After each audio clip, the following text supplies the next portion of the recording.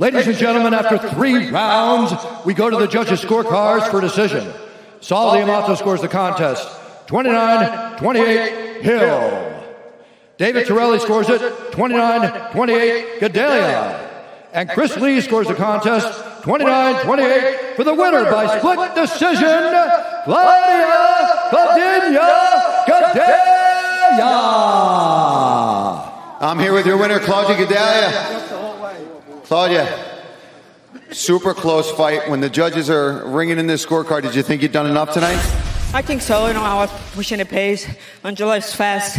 You know, and I did my best tonight. Well, you know, you've been working with Mark Henry and Ricardo Almeida in Jersey now. You said you had a little more of a family. Did that contribute to tonight? Of course. You know, I moved to America three years ago by myself. I'm here following a dream. My family's in Brazil. You know, I, I had to make a family here in America, and those guys are helping me out a lot. Well, it was a fantastic fight. How soon will we see you in here again? You've been a staple in this division. Anybody out there on the tip of your tongue?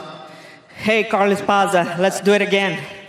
There we go. You heard it from her, Carla Esparza. Let's hear it for your winner, Claudia Gadelha, everyone.